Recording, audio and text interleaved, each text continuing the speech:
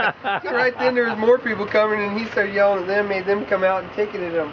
Oh, and I was crap. like,